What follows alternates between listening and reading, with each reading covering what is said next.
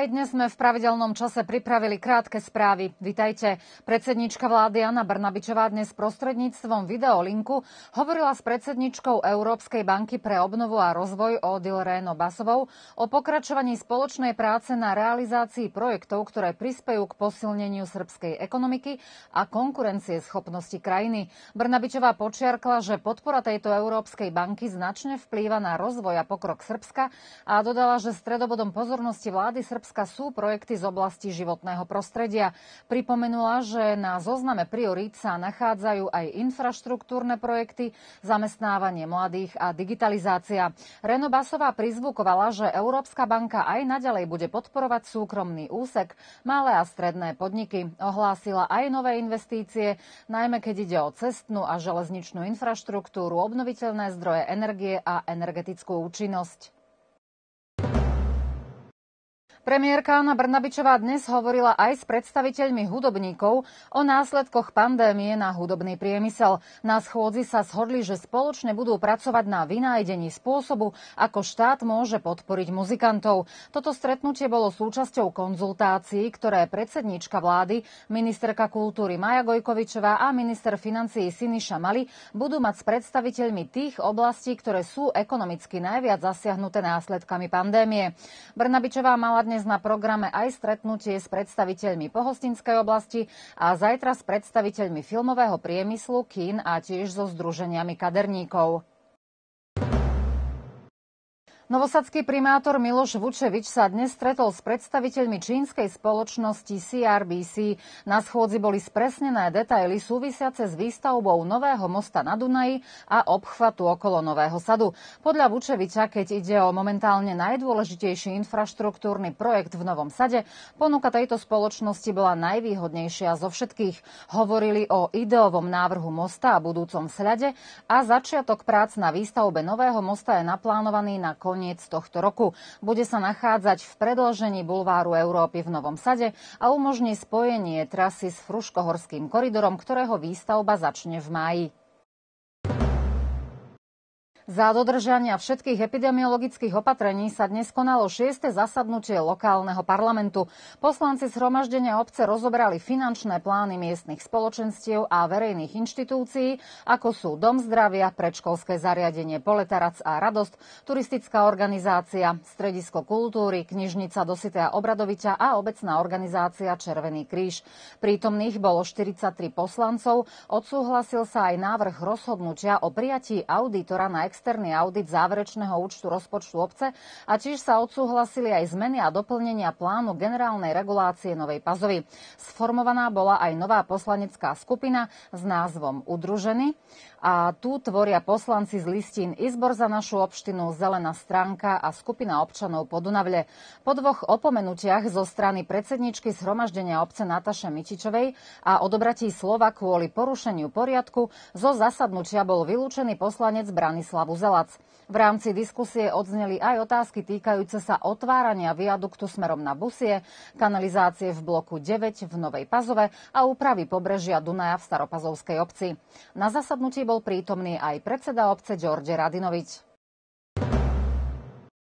Dnes začalo s prácou internetové stredisko pre COVID opatrenia. Ide o internetovú stránku, na ktorej sa budú dať nájsť najnovšie príkazy, vyhlášky, nariadenia a všetky informácie ohľadom nových epidemických opatrení. Podnikatelia na tejto stránke môžu získať presné údaje o obmedzeniach.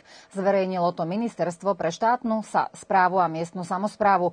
To umožňuje, aby sa na jednom mieste získali všetky dôležité informácie o tom, či určité objekty môžu pracovať, dokoľkej, v akom rozsahu a s akými kapacitami. Je tu možnosť aj položiť otázky v prípade nejasností. Nová stránka má názov www.inspektor.gov.rs. Práca tohto strediska v značnej miere zveľadí účinnosť protipandemických opatrení a prispieje k lepšiemu pochopeniu informácií, ktoré sa týkajú hospodárstva a občanov. Epidemiológ a člen krízového štábu Branislav Teodorovič povedal, že pravdepodobne od pondelka školy predsa len zostanú otvorené pre nižšie ročníky základných škôl. Vyššie ročníky, teda druhý stupeň a stredoškoláci aj na budúci týždeň budú výučbu sledovať online. Zároveň vyzval všetkých zamestnávateľov v prípade, že je to možné, aby svojim zamestnaným dovolili pracovať z domu, aby aspoň jeden z rodičov mohol byť doma s deťmi. Pre doplnenie podľa najnovších údajov zo stránky COVID-19 RS za posledný deň bolo v Srbsku testovaných 17 208 ľudí, z nich 5305 malo pozitívne výsledky. Počet nakazených sa denne zvyšuje aj v Staropazovskej obci. Podľa posledných údajov z Ústavu verejného zdravia Sriemska Mitrovica za posledný deň bolo v Starej Pazove zaregistrovaných 51 nových pacientov s diagnózou korona a aktuálne je v našej obci 537 nakazených pacientov. V posledných dňoch pracujú v COVID ambulanciách 4 zdravotnícke týmy a denne príjmu okolo 250 ľudí. Podľa slov epidemiológa doktora Duška Kolžiča v Dome zdravia Stará Pazova doteraz prijali vak vakcínu okolo, prijalo vakcínu okolo 10 tisíc obyvateľov. Tohto týždňa bolo ukončené prvé kolo očkovania imobilných a ťažšie mobilných osôb, a to priamo v teréne, a počas budúceho týždňa sa v tom bude pokračovať. Ústav transfúzie krvi Vojvodiny v spolupráci s Červeným krížom pokračujú v pravidelných akciách dobrovoľného darovania krvi. V nedeľu 21.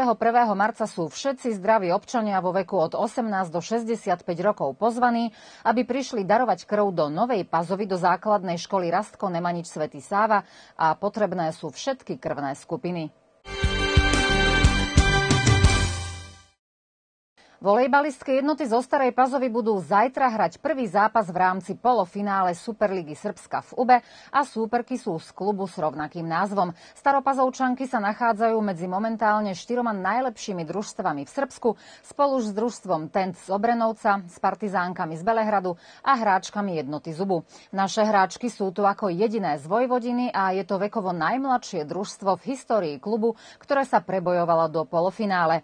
Prvý zápas polofinále sa od odohrá zajtra 20. marca v Ube so začiatkom o 18. hodine a druhý zápas bude na pláne o 3 dni neskôr v Starej Pazove.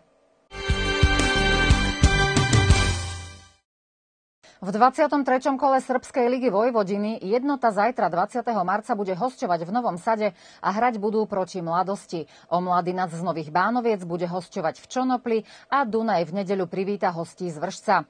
V 20. kole Vojvodinskej ligy skupina Juch futbalisti Jadranu budú hrať zajtra proti Indexu v Novom Sade, radničky Verdevíku si zahrá proti Sloge. V nedeľu Sremac z Vojky privíta hráčov Nový sa 1921 a Podunávac z Belegiša bude hrať vo na svojom teréne proti cementu z Beočína. Všetky zápasy 23. kola začínajú o 15. hodine a zápasy 20. kola majú začiatok o 14.30.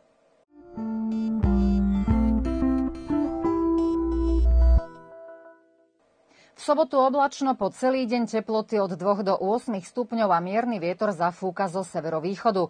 Aj v nedeľu oblačno po celý deň o pár stupienkov menej od 1 do 6 stupňov a rovnako mierny vietor zo severovýchodu.